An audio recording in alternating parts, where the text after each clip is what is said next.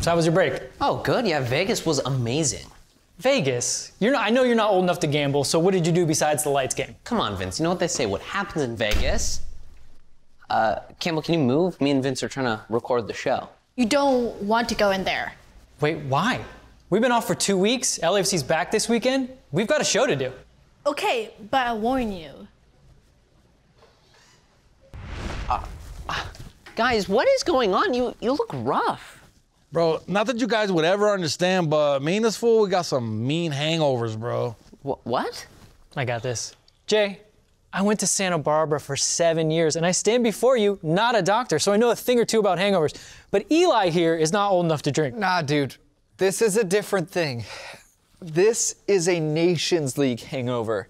You know when you have a steady diet of MLS and then all of a sudden you get two weeks of raw, uncut, CONCACAF action injected right into your eyeballs?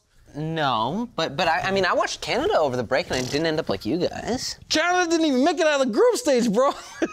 Dude, that's like shotgunning in old duels. The next thing you know, you're ripping off your pants, revealing your pizza themed banana hammock while you're singing Smiths at karaoke. I, I never did that, by the way. Uh, dude, we're not talking about Canada. We're talking about medals. Real stuff, bro. Okay, wha- whatever, Jay. But but Eli, didn't you say the Nations League was pointless? No, I remember. And you did it on our show, which is on the internet. Internet doesn't forget, bro. I, I mean, it's gonna be hard to keep it quiet. You know, it's out there now, Eli. You did say that, bro. I know what I said, but you guys are being so loud. I still hear in my head pumping the USA, USA, USA chants. Plus, the baby's sleeping. The the baby. Eli, there's no baby here. Not again! I gotta go, guys. Damn you, Bretos! Bro, I don't know nothing about no baby. I used to like pizza until you talked about that.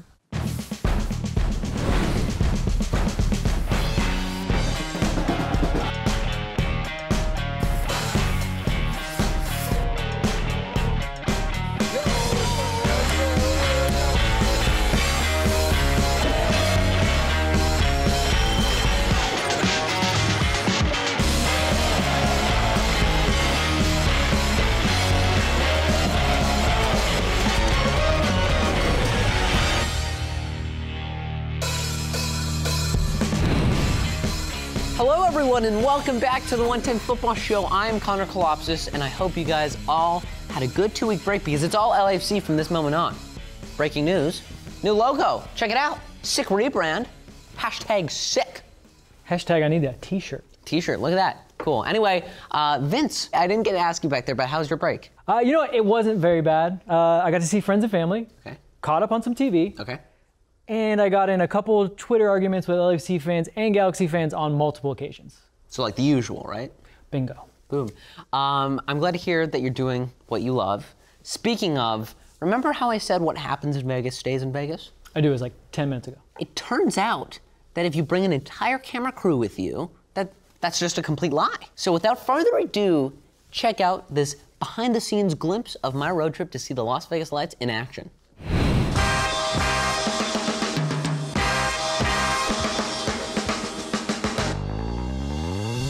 We're here at the Las Vegas Lights first match of the season. We came all the way to Vegas. This has been crazy, and I'm so glad to see the locals out here supporting their club. Duke is in. Duke doubles the lead for Las Bryce Duke Vegas. scored! Bryce Duke scored! Yes! Bryce Duke's got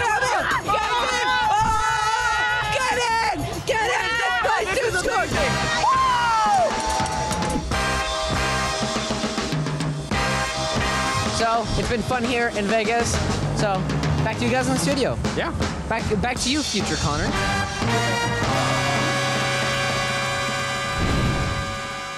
That was pretty incredible. I mean, you were literally right there. Bryce Duke scores his first goal as a professional. You get to see the first Vegas Lights win of 2021.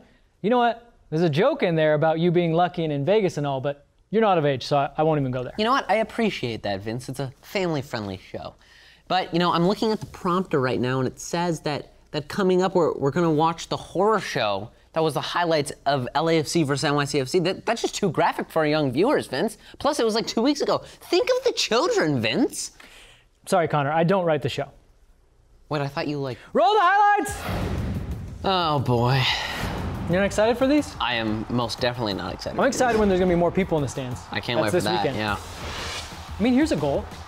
It's a beautiful goal actually. Yeah, so get a little fired up for it. Well, I mean, Yay! look, you could have finished that. That's a tap in. That's like a 100% chance. 10 times out of 10. It's just beautiful football. It was point. beautiful football, and it should have continued. Uh, but this is not the this is not the spot for beautiful football. That's maybe the time where, you know, you just clear it. There's other airs though. There's other guys that could have stepped up in that moment. In other news, Matt got a man of the match with Canada. That's not LAFC. And this is not LAFC either. Did you yell? Did you scream out? I, let's I screamed, Carlos, no! Yep, that's probably the right reaction.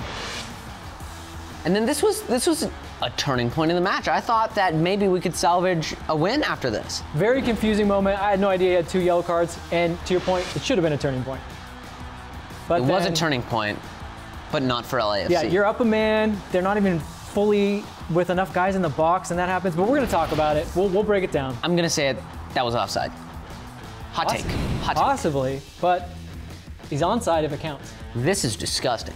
That is an ugly standings. A lot of teams I don't like at the very top. And are we not on this? We're not even on the first page. Not on the first page. There we are. There we are. Ninth.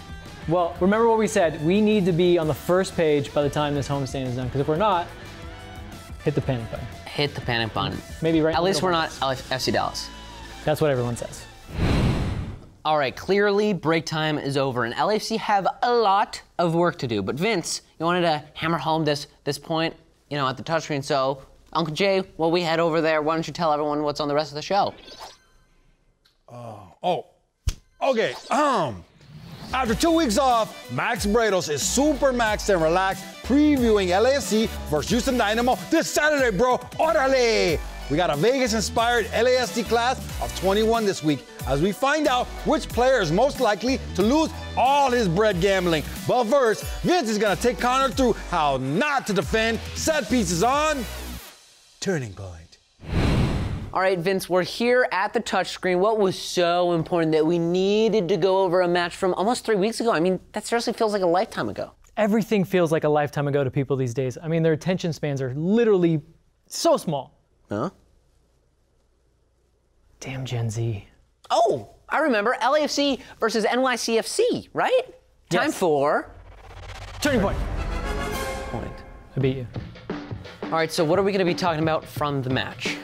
It's a hot topic for LAFC fans. It's how to defend set pieces. Hasn't been great this year, and in this game, it was pivotal. Uh-oh, we don't like this. Yeah, so let's let's start right from the top. This is obviously the game-winning goal. It comes from a corner. Again, I've already talked about it.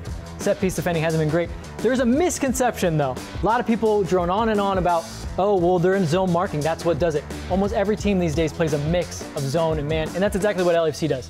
What they do is they try to get basically kind of walls in the big areas. These are the most dangerous areas. Your front post and right in the middle of the field, and then you have some man markers. So they have three man markers. So it is a mixed system. I, I, I get that, but one thing that sticks out for me is this guy. He's all alone. If you're saying it's a hybrid mix, uh, man marking and zonal marking, why isn't Mark Anthony Kaye marking number 17? Right. So in hindsight, it makes a lot of sense, right? You wish he could have man marked him because the guy's wide open. But think about this. This is an outswinger. That ball's coming from inside to outside. It's going to be almost impossible to get it right on this guy's head without shifting over. But keep in mind, shifting over is important. As the play progresses in a zone system, you have to know where to go from those zones. And you know what? It trickled down from there, the mistakes. Because as we run it, watch this guy's run here. Latif is supposed to be marking that guy. Just watch how nonchalantly he lets that guy go. And then Danny, he's he's looking now, but when that guy gets over there, he's gonna just basically say, "What's up, bro?" and then let him get the header. Watch What's up, bro? Wins the first header. The cardinal rule is this: if there's two touches by the opponent in your box, it's probably a bad thing. I'm gonna pause it here and just say, hot take. You know what? I'll just show you. I'm not even gonna say it. Are you taking my job? take. I'm taking your job. I'm gonna Okay. do a markup. Okay. Whoa. Uh, you can take my job, but don't get that close, bro. Is Okay. offside. And I'll show you. See here? He's offside. Look at it. It's like, You're like a, I, uh, okay, you're like a drunk guy doing a baseball line there. clearly, I'm joking. But in all seriousness, a lot of people think this was offside. If that's not clear and obvious, why didn't they go to VAR? Well, a lot of people might have been right because it wasn't clear and obvious. They can only use the cameras that they have. And we saw even from that first look, tough to tell if it was clear and obvious. So here's the real question what should LAFC do better? You know, it's decision making. I don't think it's the man marking versus zonal marking. What do we say in the zonal marking? Just because you're zonal marking doesn't mean you don't attack areas and you're not aware of what's around you. Be more aware of your surroundings, do your job, and then just have that mentality that you're not going to give up set pieces. Well, thanks for that, Vince. Nothing gets me more pumped than LAFC defending set pieces. That you was a joke. You have to be the only one. Oh, it was a joke. Good. You don't do many of those. Anyway, I guess that's what our son are for, right? Both of us. Ben, can you play some sad standing to sitting music, please? Sad sitting music. Oh, yeah, that is sad. Like I had a tough day, man. Just come home from work, or come home from an LAFC game. Where thought your team was gonna in the win. last minute. You're up a man. Give a corner kick. You know, Ben's got an entire catalog of standing to sitting music in different moods. Yeah, but what about sitting to standing? Everybody knows that there's no such thing as sitting to standing music, you silly goose. But since we're here and in our chairs, and it's a pivotal moment in the LAFC season, let's don our manager hats once again. And I guess if we're channeling Bob Bradley, that means his iconic LAFC dad hat. Kaboom! Looks Let's on play some 110 manager mode. Ooh, Wow, can I touch it? I don't think so. Big graphic. All right. Hey, boss, we're getting a lot of interest from overseas for some of our talented young players. Those teams want to close the deal this summer. How should we proceed with negotiations knowing our best players could be leaving in the middle of our season? This is a tough one. Not a lot of MLS teams face this question, but I would say this LAFC from day one has said that they will be a selling team. They will find the young talent and they will move them on to their next destination. You don't get a Diego Rossi without telling him that you will eventually sell him to Europe. So, unfortunately, this is the game that we play. And I say we've got to move him on because that's going to start the cycle anew. And don't think for a minute that LAFC doesn't already have new targets identified. You know, if Diego Rossi is to move on, do you think he's going to Everton or Tottenham? Ooh, good question. You know, I think Everton seems like a good place. They have taken a chance on a guy from America before, although he played for a team we won't talk about. Anyway, I'm going next. Hey, boss, we have four players either missing or returning from international duty. We have two matches upcoming this week. How should we handle the starting 11 for the match against Houston on Saturday? Well, because I'm wearing this dad hat that Bob Bradley wears all the time, switch it up. A lot of people, fans specifically, are not too happy with the likes of Mark Anthony Kaye and Palacios. I'm not going to speak on my opinion, but I will say it may be good to get some other guys some starting time. Maybe put in Sifu, maybe maybe bring Latif back into the mix. Or, I know I'm going to say this crazy, maybe put in Pancho Ginella in the midfield. Maybe, maybe, maybe. And as for a player like Palacios, maybe start Marco Farfan. I don't know. Maybe that's why we got fullback depth. I don't know, Bob. Maybe get it together. Anyway, that's what I think. Really, after his man of the match performance, no mark? No, no mark. All right. Well, Connor, it sounds like we solved that. So clip that off, get it to LAFC right away. Oh, you, you think they'd listen to us? No, but at least they know we're trying. Aw, that's sweet. And speaking of trying, Max Bretos is trying his best to look as chill as possible while still delivering viewers all the info they need before LAFC takes on Houston. You might call it too chill. We call it maxing and relaxing. Welcome once again into the Ponderosa here. Man, it's hot. Where's my Mai Tai? They'll be coming. LAFC playing the Dynamo for the second time this season. I thought they should have got all three points when they met in Houston. Tough place to play. They didn't. Certainly look to do that Saturday night, late night. This is a very undersold rivalry with the Dynamo. Think about it. 2019, the Dynamo were the opponent when LAFC lifted the supporter shield that night. Go back to 2018, U.S. Open Cup semifinals.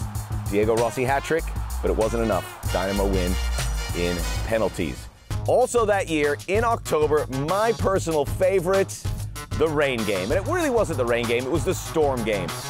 Lightning, all sorts of crazy weather, which we could use right now in Los Angeles.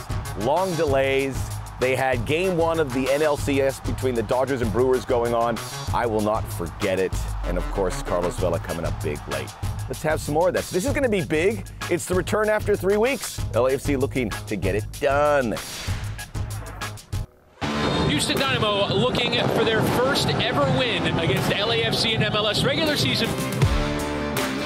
Weston turning away from pressure and sending a beautiful one to Diego Rossi, who just didn't quite catch it.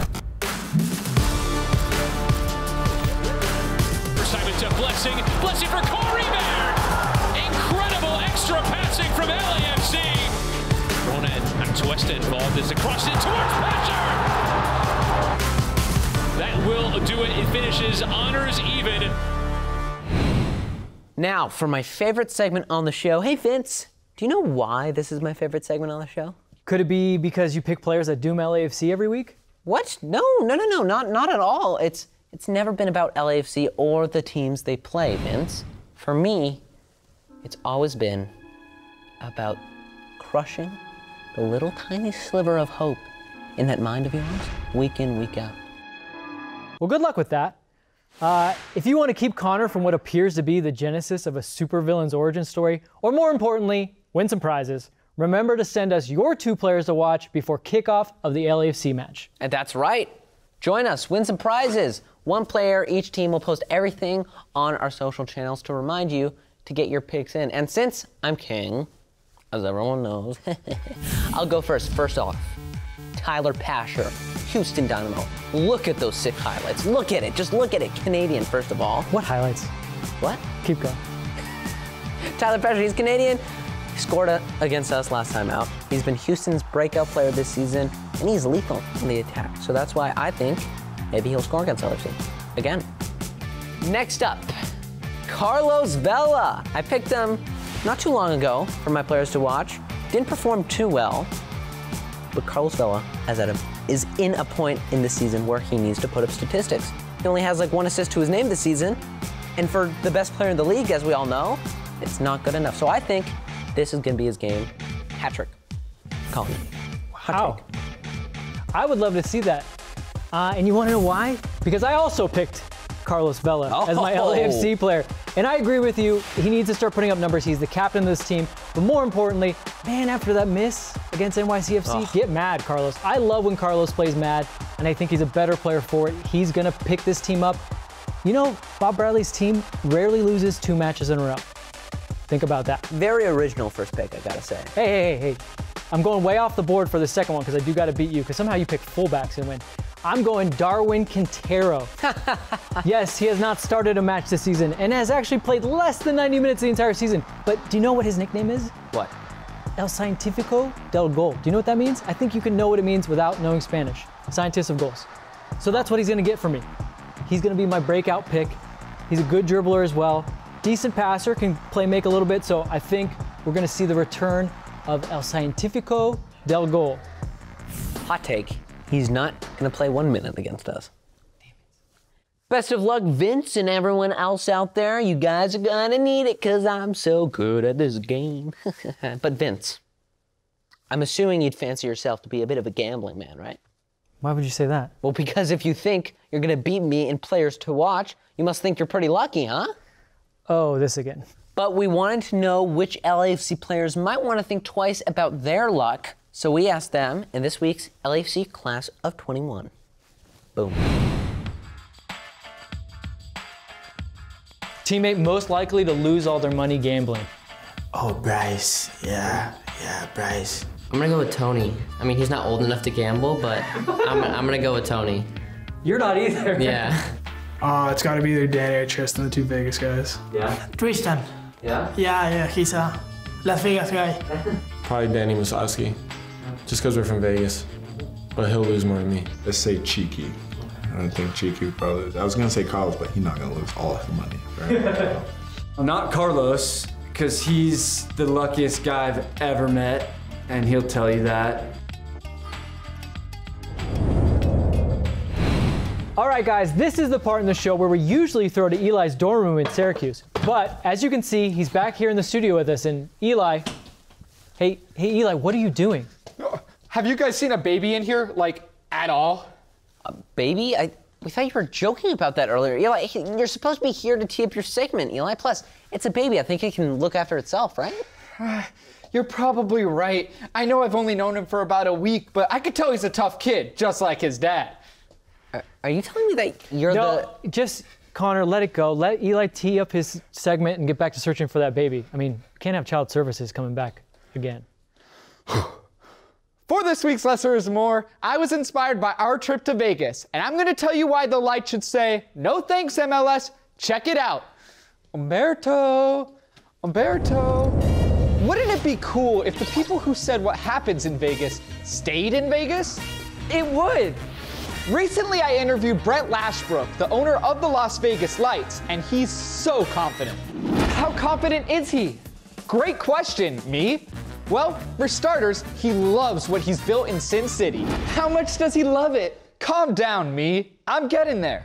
When you go to a Lights game, they have a lot of entertainment value in addition to the match. A llama, kiddie pool, drive your car up to the touchline seats, and let's not forget about the Elvis mascot. I don't know what's going on here, but I love it.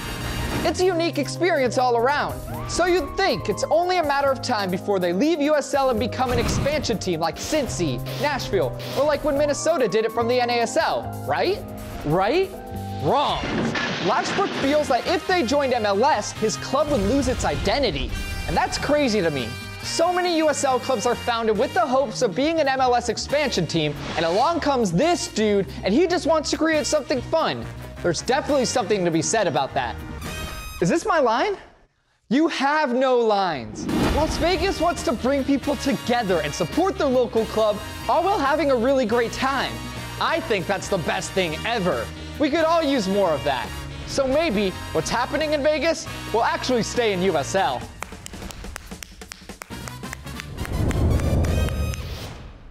Thanks for that, Eli. And Vince, that is our show. The international break is officially over. LAFC is back, the fans are back, and I, for one, could not be more excited. That's right, it's about time. And don't forget, check us out before and after the Houston match this weekend. Max Bretos is going to be joining us. He'll be there for the virtual tailgate and with Connor and I for your post match reactions. That's right. Hey, you know what? Speaking of being back, Jay, have you beaten that Nations League hangover yet? Jay? What? Oh, sorry. Hey, Eli, bro, you still got the baby? What's going on here, dude? When we went to Vegas, I heard all y'all shouting, Vegas, baby! So I got myself a Vegas baby! Isn't he so cute? Oh, That doesn't sound right. Bro, you gotta return that baby, dude. Don't listen to him, Umberto. Let's say hi to Uncle Vincent, Uncle Connor. Hi. He's so cute. Hi, Umberto. So adorable. See you guys at the bank. Looks like daddy. He looks a lot like Max Bretos. The next thing you know, you're ripping off your pants, revealing your banana hammock, and you're singing karaoke at the. Oh, damn it. Well, guess what? That's not entirely. That was incredible. You were literally right there as Bryce. Uh, Bryce, Bryce. Change your name, Bryce. Drive your car up to the borderline seats. T- borderline? What the, f- the borderline?